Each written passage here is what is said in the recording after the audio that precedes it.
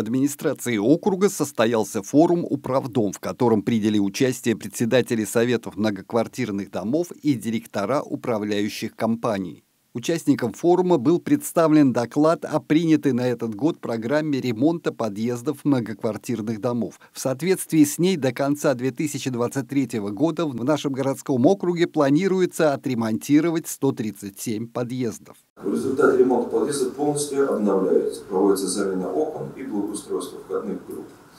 А, оштукатуриваются и окрашиваются стены, ремонтируются полы, устанавливаются новые почтовые ящики Для мобильных граждан а у входа оборудуются пандусы для комфортного подъема.